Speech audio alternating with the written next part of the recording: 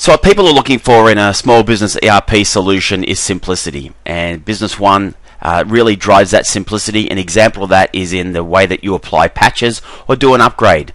With 8.8, we've incorporated the Business One Upgrade Wizard. Very, very simple. You download the file, go into the extracted files, and you double click on Upgrade.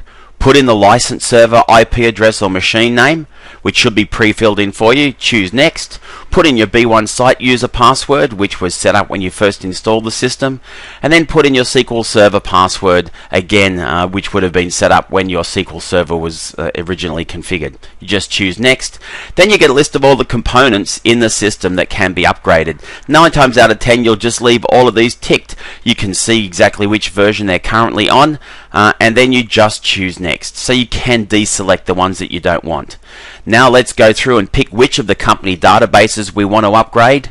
Simply put in our user ID and password and you'll see the system will tell you as soon as you put in your password that that database is ready for upgrade.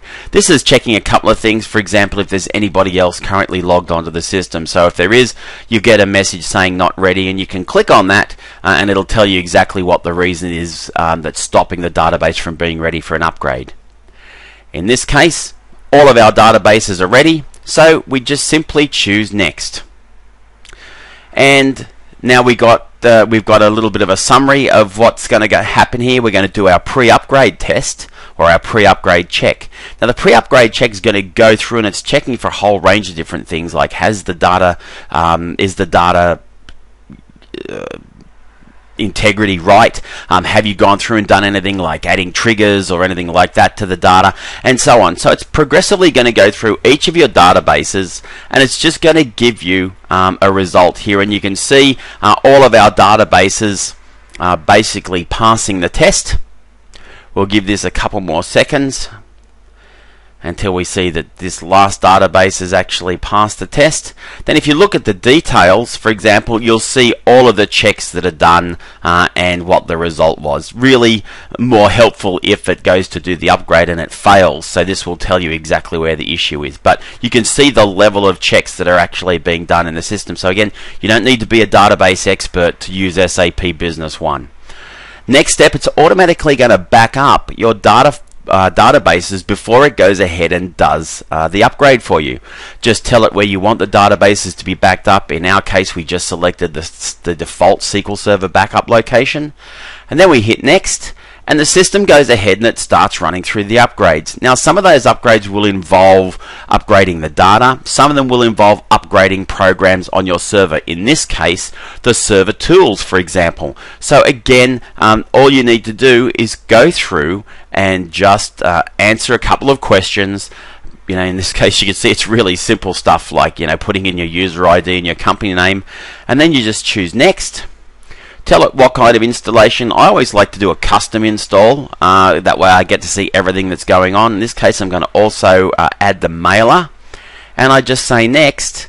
And then we let the SAP Business One installation program go ahead, deinstall the current version of the server tools, and upgrade that with the latest version of the server tools.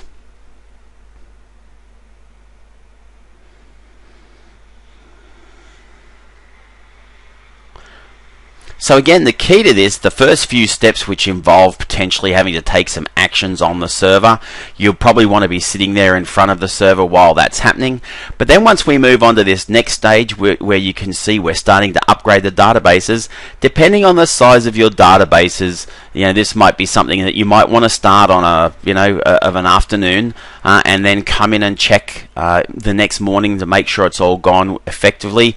Um, or of course you can check it during the evening, log on onto your server using um, whatever remote uh, desktop system that you that you want to use and just double check how it's going.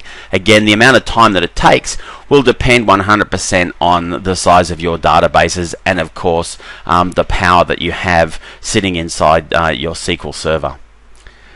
So again, you can see um, that all of my databases have been upgraded and now it's going through and it's upgrading a couple of the other components in the system.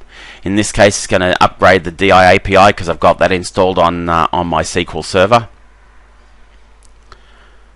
So I'm going to let that happen. Now the other thing um, that you're going to see happen here in a second is the data transfer workbench is going to be upgraded as well. I always like to install the data transfer workbench on my main SQL server why? Because that way, when I'm doing any data migrations or anything like that, I always like to do that directly on the SQL Server. That way, the um, you know those those upgrades, those um, data transformations, bringing that data in tends to run a lot quicker when you're running on the same uh, physical server as the SQL Server box itself. So you're not sending data across the network. So just a little uh, a little tip there that um, that might be helpful for you.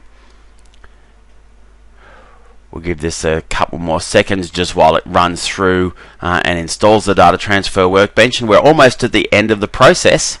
So you can see all of my uh, all of my systems have been upgraded successfully.